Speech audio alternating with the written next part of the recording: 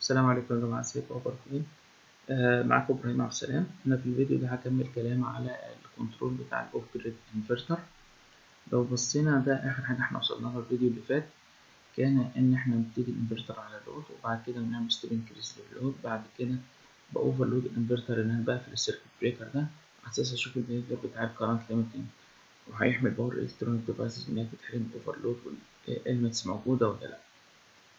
آه كانت في مشكلة بتواجهنا إن الأرقام كانت حقيقية. يعني إيه حقيقية؟ دي 380 فولت. طبعا feedback فطبعا تعالوا نتخيل بس السيناريو بيحصل. لو دي 380 فولت ودي آه 360 يبقى ده ناقص ده. هيبقى ال error 20 فولت. ال 20 دي بالنسبة لل PI control رقم كبير فبياخد أكشن عنيف ليها مع إن أنا ممكن أتقبلها في ال requirements بتاعت ال system بتاعي. فدي كانت أحد المشاكل اللي موجودة في ال system ده. طب أنا هحل المشكلة دي إزاي؟ أنا هحل المشكلة دي عن طريق إن أنا أشتغل per unit system.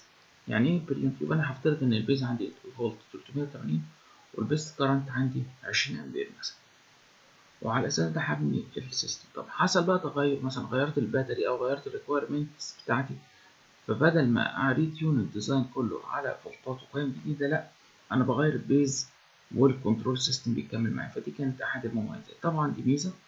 وطبعا لو أنا شغال بال power بال per unit طبعا لو ال power بال mega والحاجات كبيرة ال per unit بالنسبة لي بتسهل لي ال tuning بتاع ال PI control وبتسهل عليا ال control وفهم الارقام فنبتدي نظبط دلوقتي ال system بتاعنا إنه يبقى شغال على ال per unit. فطبعا أنا هفترض إن ال base بتاعي 380 فأنا لو عايز 380 هكتب إيه واحد. وطبعا هقسم على ال base value في كل إيه حاجة. فيبقى عندي هنا ال volt ال base بتاعه كان 380 يبقى واحد على 380 هقسم feedback على 380 وده ال feedback current طبعا هقسمه إحنا اتفقنا ال base current بتاعنا هيبقى 20 يبقى واحد على 20 طبعا في العرض أنا عايز أتفرج على الحاجات بالقيم الحقيقية مش بال per unit عشان تبقى الحاجات مفهومة.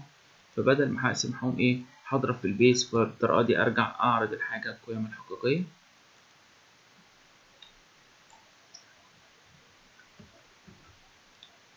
وده التيار هضربه فين اللي هي كان عشرين. تمام. أول خطوة هنبتدي نعملها إن إحنا هن tune ال inner control loop على أساس إن إحنا نبتدي نظبطها بعد كده ندخل على ال outer control loop هن double click هنا نقول هنقول مثلا 0.35 أنا عايز 0.35 من ال base بتاعي. اللي هي تقريبا سبعة أمبير. هعمل run طبعا أنا عارف إن ال gains قليلة فمش هتخليني أقدر أوصل للقيم اللي أنا عايزها في الوقت إيه. المطلوب نتيجة إن أنا أصلا شغال على القيم القديمة. ف double click على طول هصلحها. فبدل ما دي نص مثلا نضرب في عشرة كل حاجة. يبقى دي نص ودي خمسين. ونشوف هل دي هتفرق ولا لأ. على طول كده. آه لا تمام. طلع وإيه مسك القيمة اللي أنا عايزها في وقت إيه كويس. فأنا مش محتاج أعدل أكتر من كده. لأ هو كده شغال بصراحة كويس وطبعا لو بصينا بقى لل behavior بتاع ال modulation index طالعة سموث جدا يعني. آه ودي بقى المميزات اللي أنا إيه باخدها بشتغل على ال PI يعني. حتى مفيش إيه ripples والكلام ده كله. طيب يبقى أنا كده خلصت tuning لل inner control loop أدخل على ال outer control loop بتاعتي. ربطتها بيها. و double click هنا. طبعا دي كانت نص نخليها مثلا واحد وخمستاشر ونشوف اللي هيطلع. وهل دي ال performance ده مرضي ولا لأ؟ لا والله لأ مرضي بصراحة. بس طبعا لو بصينا في المدى البعيد لأ كويس جدا. طب ما حلو هشتغل على طول من غير إيه؟ ما يتقال يعني تن تن تن. فهو كده إيه ك system شغال على طول من غير إيه مشاكل. طيب تعالوا خلينا ن simulate ثانية بحالها ونشوف هل هو هي satisfy كل ال requirements بتاعتنا في كذا case ولا هيعوز يحصل tuning تاني. فدينا بنتفرج. أدي طلع فعلا مسك ال reference بتاعه.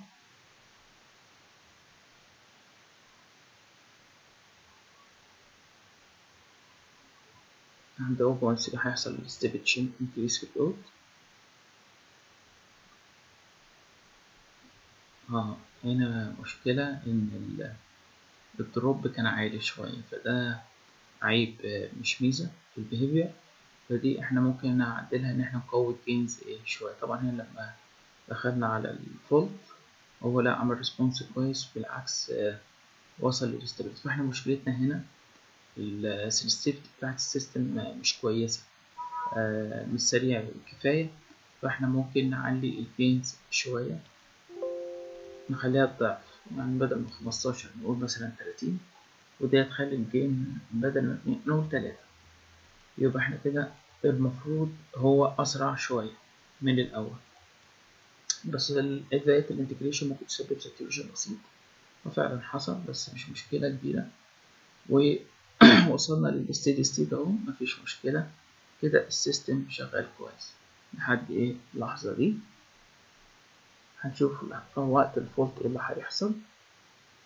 تمام. اهو قدر يوفركم ال drop في الفولت بدل ما كان نزل تحت خالص تحت عند الميتين وشوية لا طلع والنزول إيه؟ بسيط. طبعا هنا حوار ال overload اللي حصل عليه. طبعا المفروض هينزل إيه؟ الفولت بتاعه. وهي saturate ما يسحبش أكتر من 20 أمبير. يبقى إحنا كده خدنا ال performance المثالي بتاعنا. طبعا آه، في حاجة إحنا عاملين ال operating scenario كله ثانية. آه، في الحقيقة طبعا المفروض نتسيب له ثانيتين ولا حاجة يخلص فيها الشغل. بس طبعا أنا بحب إيه؟ أخلص ال simulation إيه في وقت إيه بسيط. زي ما أنتم شايفين أو طلع مسافة ال reference حصل step قدر عمل minimizing لل drop في الفولت وال recover طبعا سيبناه وقت أطول. هيوصل ل zero steady state بعد كده عملنا عليه ال fault على الإنفرتر أو ال overload فطبعا نزل وثبت الفولت بتاعه على فولت أقل من المطلوب ليه؟ إن هو بي saturate إن هو مش عايز يطلع أكتر من 20 أمبير عشان يحمي ال power electronics ده كان فيديو سريع وكان الهدف منه أوريكم المميزات اللي بتديها لنا ال simulation عن طريق ال PI متشكر جدا وعلى إذنكم. مع السلامة.